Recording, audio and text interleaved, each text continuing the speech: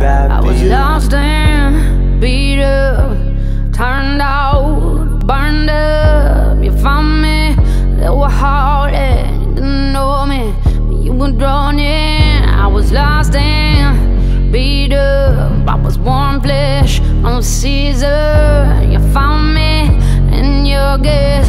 Oh, I found me, oh Jesus. There was a time in my life where I really battled depression.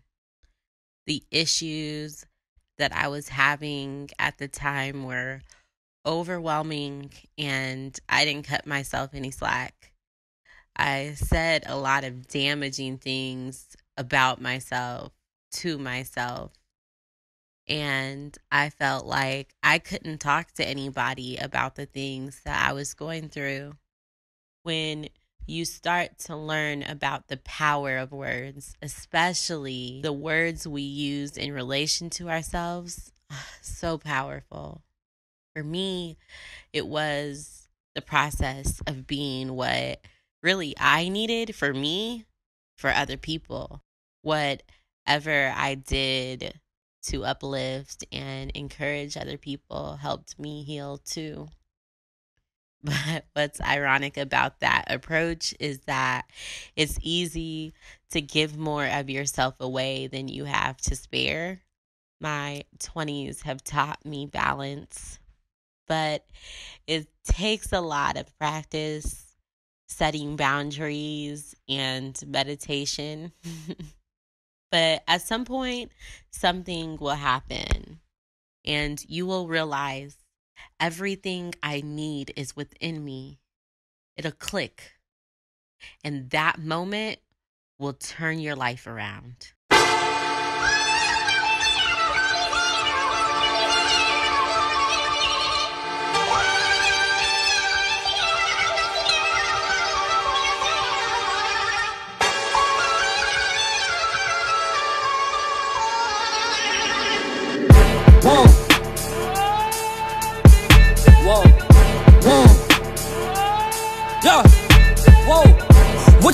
Icon living? Start a record label, Misfits just did it. Nylon cover five minutes. Whoa. We are too hot in the business. About to make a movie independent. Need new trucks independent. I need you to listen to the vision. All your verses sound like dirty dishes. I'm about to clean them in the kitchen. And we making money by the minute. I'm about to do it way different. I am just an icon living. I am just an icon living. Living. I, I, icon living. I started Spreeisms because I wanted to spread awareness about mental health, but also correct some of the misconceptions about mental health and about going to therapy that a lot of people in the black community have. I wanted to kind of educate and share what I was learning in grad school and what I am learning now as a black female therapist in this field. Mental health in the black community is an integral part of this renaissance that we are currently in. I truly believe that if we do not start addressing our traumas and processing these things, it's going to have a negative impact on our progress as a people.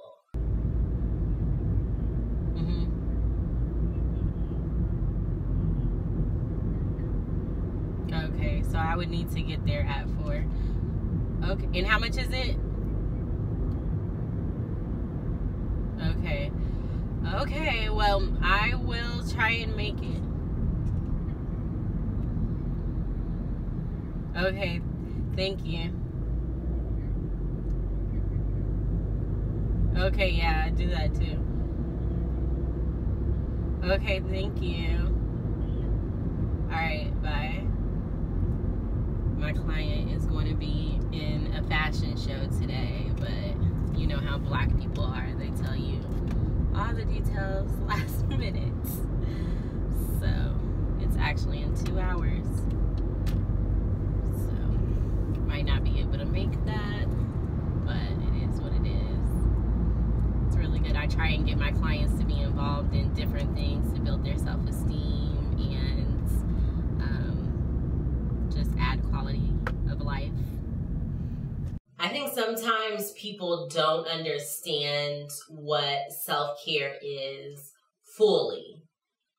a lot of times our idea of self-care is so limited to what we can post on social media. The sunday brunches the new haircut the pedicure those type of things. But self-care is about maintaining the fabric of who you are so just as much as it is keeping your momentum and relaxing when necessary it's about checking yourself and making sure that you are not stepping out of character, making sure that you are not losing yourself.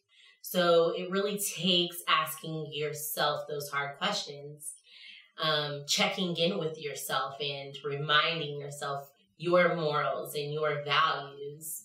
And I think that is really important to maintaining self care as a part of our daily lifestyles. I think I learned about self care earlier in life than I could even identify what it was. It was probably from the women in my family. Like when I was school age, my mom would just allow us to have days. Those days when you wake up with a stomach ache, but it's really just because you don't want to go to school. She would say, Oh, you just need a mental health day. And every so often we would get that break, we would get that time. Even my aunt Gloria, who passed away in July 2017, she was all about celebration, always about celebrating life, celebrating the milestones, your different achievements, and making sure that everybody would come out to the house and celebrate with you. And it just really taught me a lot about balance, a lot about celebrating yourself, a lot about giving yourself breaks when you need it, and having people who are around you that understand what you need as well. And I think that's why self care is so important to our mental health. I had this professor in undergrad that would always talk about how, as social workers, we need to have a side hustle, something that we believe in, something we can advocate for and stand on. And I thought, what better for me to stand on than my own name? So when Marcus and I were brainstorming, he said Spreeisms, and I immediately said, yes, that's what we're going for. We grabbed my sofa out of the living room into the sunroom where the lighting was good, and we just started filming. And it was something for me to build and something for me to invest in, whether it was a tripod or a lighting kit. It just got better until it became what it is now. Sydney, Sydney, Sydney, Lovely people who. There you go. Thank you. Always, always. What about my raffle? Do you want a raffle? Yeah. You trying to get a, a, a extra one? Another highlight?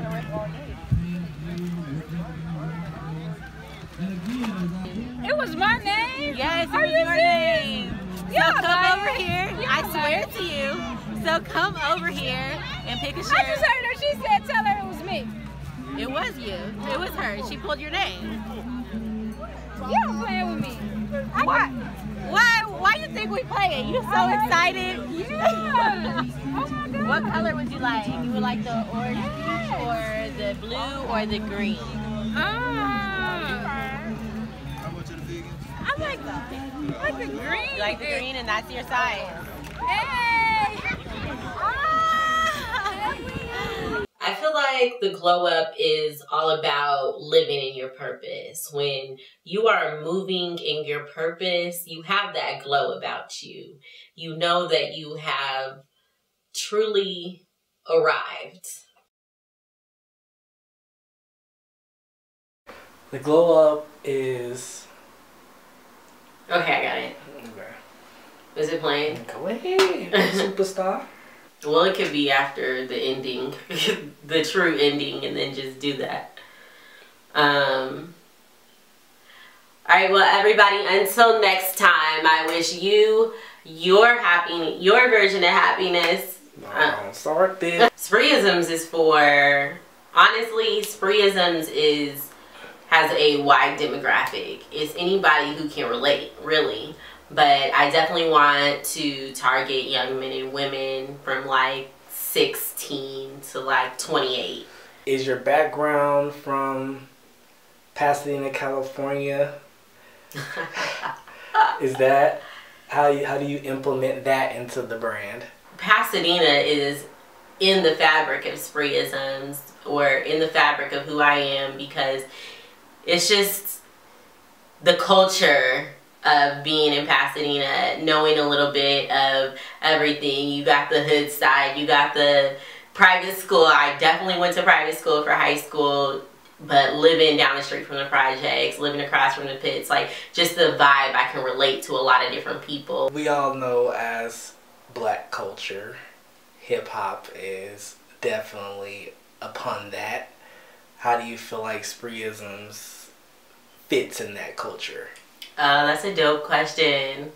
Oh, I wish I had an answer. I think um, I feel like spreeism fits into hip hop culture because I'm part of the culture. I go through similar things. I talk the same lingo.